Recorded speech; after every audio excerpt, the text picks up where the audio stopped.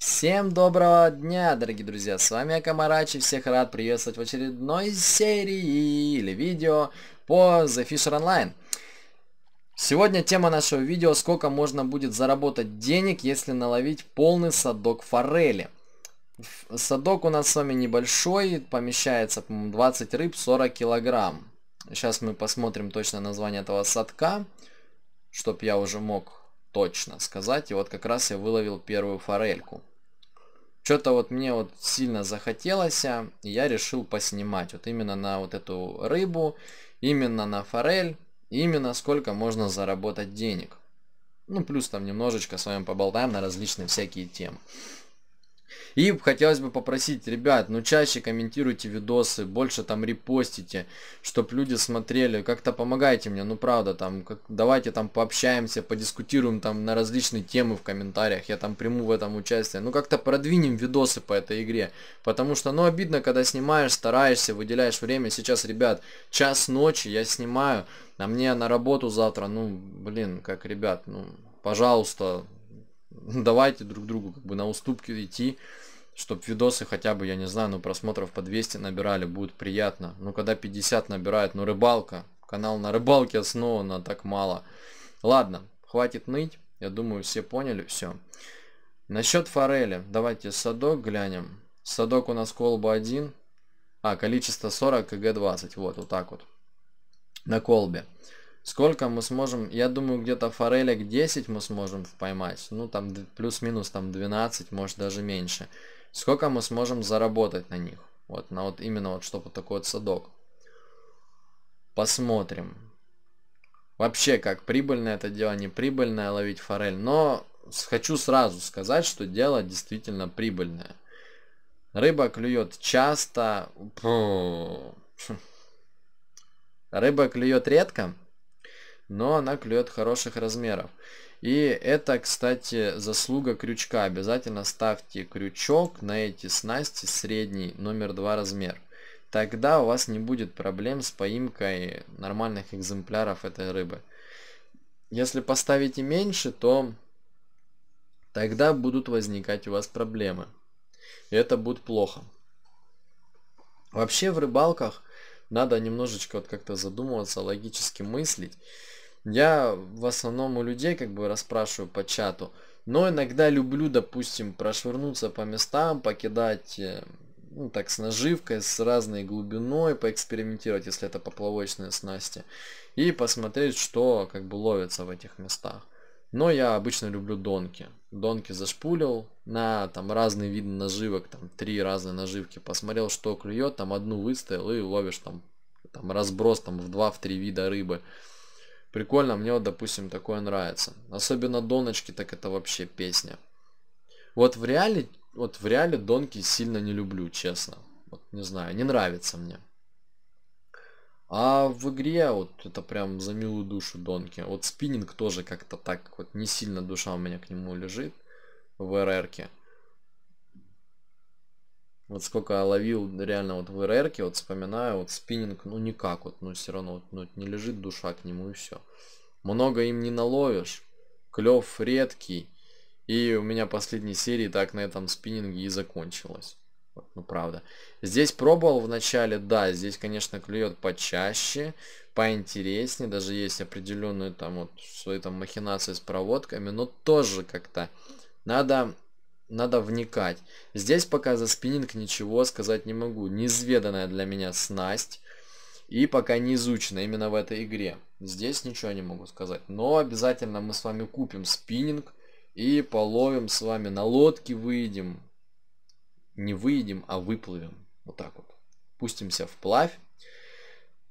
Кинем якорь где-то посерединке и попробуем обловить озера различные. И посмотрим, что мы сможем поймать. Но Нужен хороший спиннинг. Прям действительно хороший.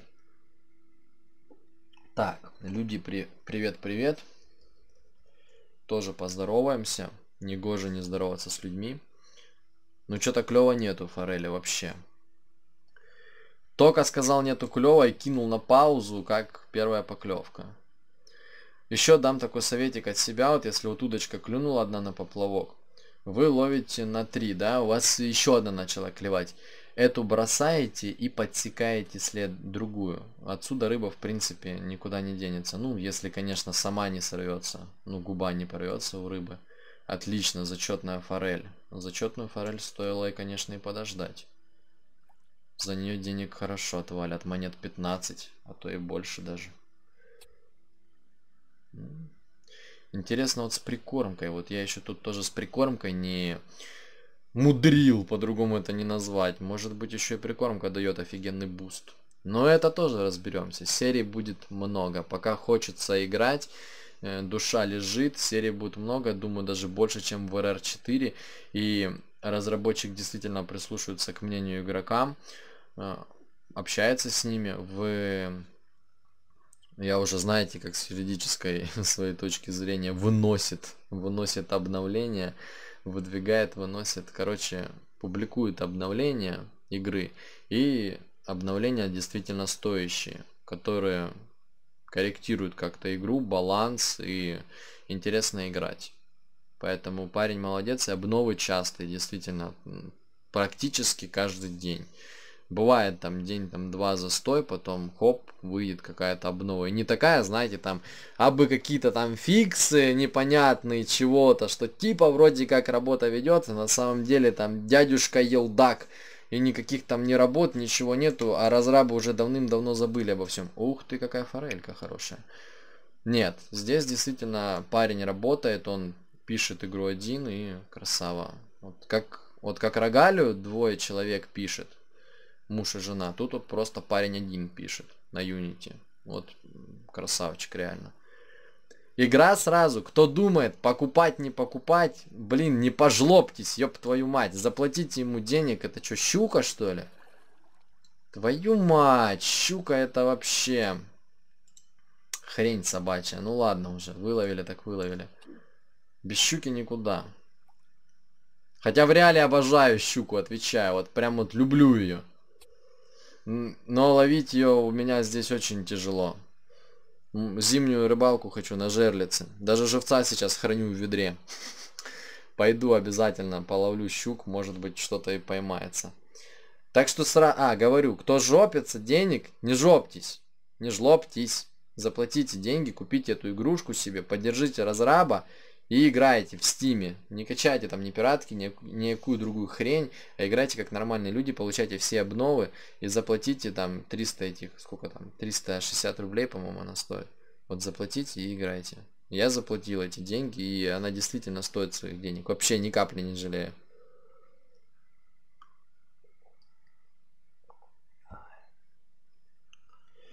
Да, ребят, на паузе уже 40 минут. Вот правда, где-то так, по реальному времени. И улов такой. То есть три щуки.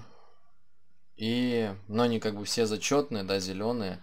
Ну, ближе к зачету, так сказать. И всего лишь 4 форельки. Ну, то есть, блин, вообще я бы не сказал, что это грамотный улов. Это, наверное, больше из-за того, что я пришел ловить к вечеру. И вот сейчас в ночь, наверное, вообще ловиться не будет. Но я как бы буду сидеть, буду выжидать. А сейчас я хочу продать щуку, потому что, ну, я как бы настроен наловить полный садок форели и продать ее, посмотреть, какой выхлоп. Уже 45 монет, но щука. Продать выбранная.